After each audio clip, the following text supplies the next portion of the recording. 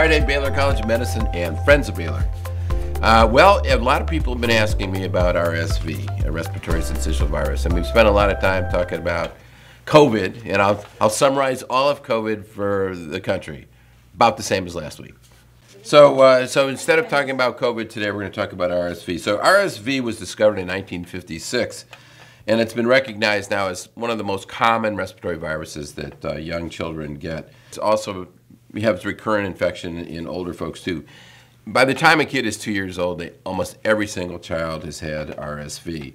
And in most parts of the country, it circulates oh, late, starting about now, November to February. Uh, it is in young children a really potentially severe illness. Mostly it causes just like a, a cold like symptom, but in 1% to 2%, uh, it can be quite severe and children get hospitalized. Worldwide, it's actually a very significant problem. In 2019, for example, there were 3.6 million children hospitalized with RSV and over 100,000 deaths.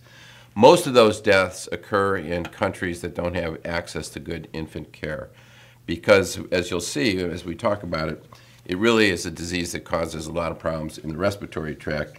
Uh, and if kids have any kind of immune uh, response, immune, immune problem or cardiac or lung disease, uh, it can be really a big problem. Now, COVID, because we had such distancing and isolation of, of kids, daycare shut down, everything, the last couple of years, RSV has really been not very prominent. And so, what that has done is a, created a very large population of susceptible children, which is why we're seeing a different, uh, different kind of uh, RSV season. RSV also occurs in adults. Uh, most people who get infected with respiratory syncytial virus have mild symptoms, just another upper respiratory infection with a runny nose, uh, maybe pharyngitis and a cough, maybe some headache. But uh, there are adults over the age of 65 in particular who can get very severe disease. Usually they have uh, some other underlying problem like heart disease or lung disease, but it can, it can cause severe uh, pneumonia and, and about 180,000 Adults are, are hospitalized each year with RSV, and about 14,000 each year um, die from the disease. Now, the syncytial virus is a human orthopneumovirus.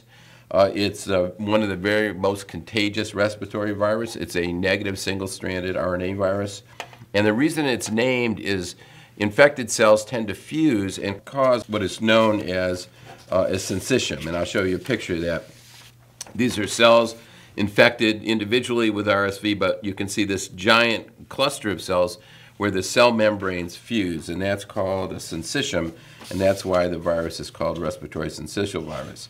Uh, in children, you can imagine if that's going on in the epithelial cells, it can cause a pretty severe bronchial infection called bronchiolitis uh, and even pneumonia. Uh, so it's a, it can be very, very significant. Uh, it usually starts off with infection in the eyes or nose, upper pharynx, and then moves down uh, into the upper airways and even, as I said, it uh, can cause pneumonia. This is what it looks like. It's a pretty common looking virus, but I want to point out there's this one protein the, called the fusion protein. That's the protein that's responsible for binding cells together. And this is what the virus looks like when it buds out of a cell. The reason why I talk about that fusion protein is that's a target of a potential vaccine. Now, it's transmitted uh, through contaminated air droplets, a typical respiratory virus. It can spread when somebody coughs or sneezes. You can, you know, just imagine the daycare setting. I mean, one kid has that, you know, every single kid's going to get it. Uh, and you can also get it by direct uh, contact on surfaces. Most adults get it from kissing their babies or grandchildren because the kids are, have runny noses and stuff. Uh, I do that with my grandchildren. I'm sure, I'm sure I'm going to get something bad. And in our in our office, everybody's got grandkids who's now got a cold. So I think it's probably could well be RSV. Uh, and it can, as I mentioned, it can be pretty severe. Most of the time, it, you're contagious. The kids are contagious for five to six, seven days. But if you're immune compromised, you can remain contagious for a very long time. Uh, but it is very common that children are exposed in school or in daycare settings, anywhere where there's clustering of children. And of course, they bring all that stuff home, which is why I love having a dog of a little child. Uh, it can be diagnosed with an antigen test just like we do for COVID. RT-PCR is also a pretty good test, uh, a very good test. Uh, the antigen capture test is about the same as uh, COVID test, 80 to 90 percent. And let, let me just show you some real data. This is uh, the, really interesting because if you look at the seasonal uh, variation, it's quite remarkable. 2018, 2019, before the pandemic, was pretty typical fall uh, fall spike in cases. But because of, uh, if you look at 2020 during the COVID pandemic, there was almost nothing.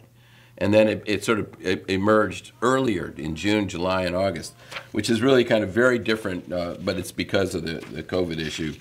When you look at hospitalizations, it's like the opposite of COVID, where if you're infected over the age of 65, you're likely to be hospitalized. This is exactly the opposite. Under the age of six months, one year, the younger you are, the more likely you are to be infected, uh, to be hospitalized from infection. Uh, the interesting thing is if you think about why all what this virus causes a lot of fluid, a lot of secretions, and you have to be able to cough that stuff up. Young uh, children with very small airways and not a lot of muscle strength in their chest walls have a lot of trouble clearing those secretions, which is why they tend to get more severe bronchiolitis and pneumonia. And the interesting thing, again, is if you look at what's happened, the, the pandemic has really ch changed with COVID. Uh, there was all the susceptible population. So we actually had a spring peak in 2021, and now we're seeing, uh, we saw a spring peak again in 2022, and now a fall peak uh, that's going on right now. And that's what everyone's concerned about, the big uh, peak in, uh, of RSV now. But we had these susceptible populations uh, during the COVID pandemic that hadn't been exposed. So when they were exposed, you saw these little spring peaks. My guess is over the next few years, it'll go back to being a typical uh, just um, uh, a peak in the fall. So what are the treatments? Uh, it's been really difficult to develop a vaccine against RSV for many, many reasons. For one, uh, they're small, you know, they're young kids, so having showing efficacy in a vaccine in under two, you can see how long it took us to get even approval uh, for COVID in young children. Same thing for RSV. Uh, but uh, you would think that this is an ideal way to control the virus over time. This is only in humans, so if we actually developed an effective vaccine, we could eliminate this, this virus potentially. Uh, there is no intermediate host, for example. But because of the young age, it's been hard to, be, to develop one. There's multiple mechanisms for the RSV to avoid uh, immunity.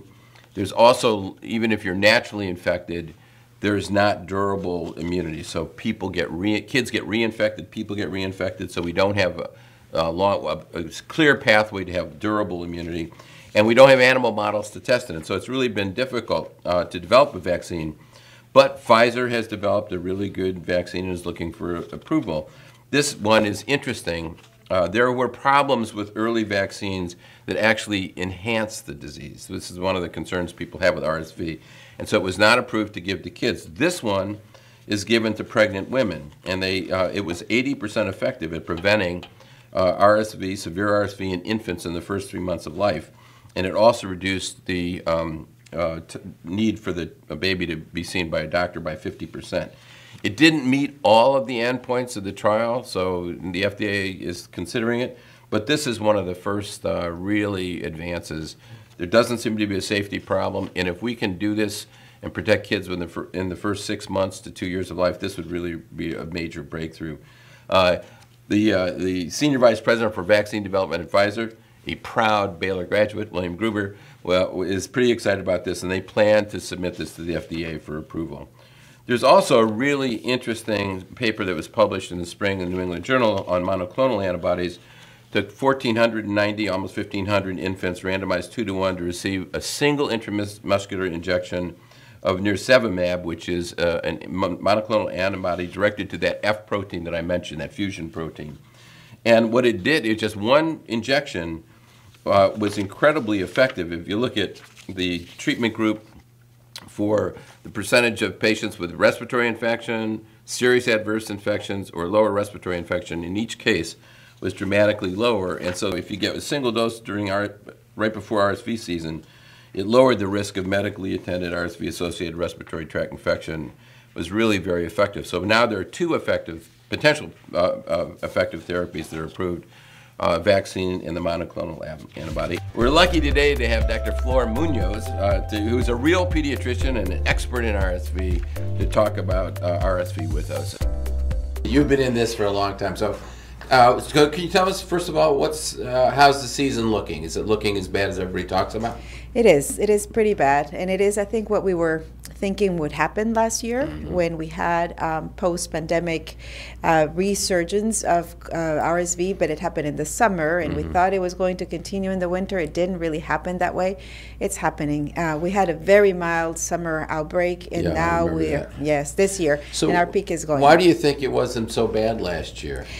you know, it's interesting because we did have a susceptible population, yeah. right? We had right. a year without RSV and then a summer outbreak right. where you know, it's it's hard to tell. I, I don't know that I have an answer for you on that, but we were lucky it didn't get worse. Do you think social distancing and mask probably, wearing? Probably, Yes, it's yeah. probably because you know we did have just the Delta wave and then Omicron, and so people were still very cautious. We were still not sending children to school. We were still being you know protective about that. Yeah, um, I get more. I'm not a pediatrician, and yet I get more people calling me saying my child is sick when, when should a mother or father decide to call the physician or take the physician or take the baby or child to the doctor? When that's yeah. a, always a tough question. It is, but you know we have um, documents out there, information out there for parents, for pediatricians about warning signs. Mm-hmm. And that's true for any respiratory illness. So we're talking about RSV, but for flu especially, we also have been um, talking about that every year.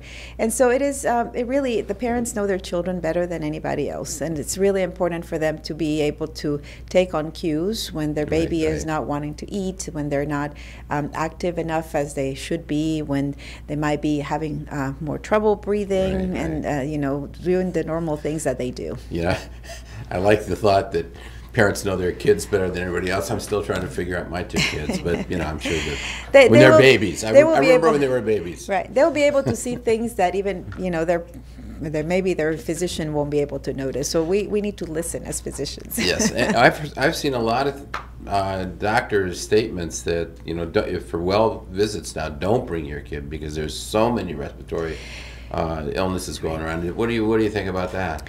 Well, we are in a special situation this year, as we're saying. So certainly, we're having um, a confluence of RSV, influenza, and still a little COVID. bit of COVID out there, in addition to the other respiratory viruses, right. because the common cold viruses are still around.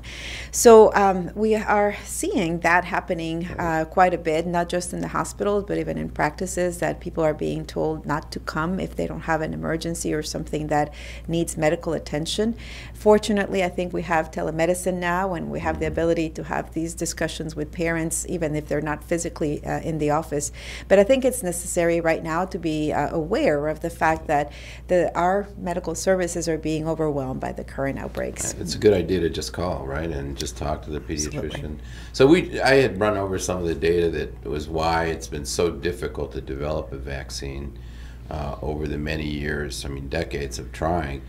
Now we hear that there may be uh, a vaccine on the horizon. Can you tell me a little bit about that and whether that's exciting news? Super exciting news. I have to say, I am biased. My work in research has been on maternal vaccines, on respiratory viruses. And here at Texas Children's and Baylor, we actually did the very first maternal immunization trial on an RSV vaccine back in the late 90s, and I was part of that.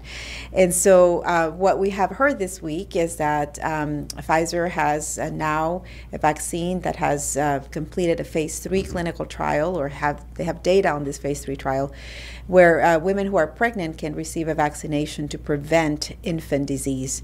And they wow. just share their, their data is very nice. Uh, 82% protection against severe RSV disease in the first six months of life. Uh, certainly, the first nine months, I'm sorry, 90 days are going to be critical, but they are able to show, they were able to show persistence of the protection up to a about 70% uh, at six months. So wow. it's a very uh, um, outstanding accomplishment because others have tried, and this is a work that has been going on for decades at this point. Yeah, that's uh, one of the most resistant uh, childhood infections for uh, to develop a, an effective vaccine. And, and we exactly so we yeah. don't have a vaccine for children because also for decades there have been attempts to develop vaccines that would need to be given very early in life right. because again those first 90 days are critical for rsv and uh, we've shown we've seen that um, immunity at that age is difficult to be achieved mm-hmm. there's maternal antibodies there might be just immaturity and also the fact that you need um, intranasal vaccines so live vaccines which are quite reactogenic. So the balance between um, causing a lot of nasal inflammation and congestion with the vaccine and producing immunity has been very difficult to achieve. Great. Well, Dr. Munoz, thank you for taking the time. Our viewers will be thrilled to get an expert like you to advise them.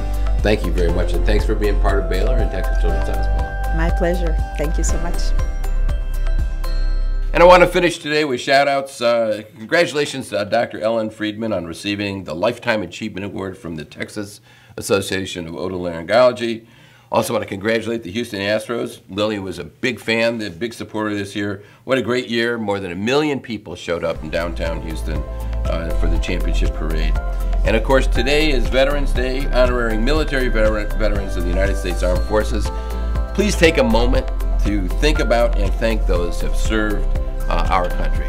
Uh, have a great weekend, and I can't wait to see you next week.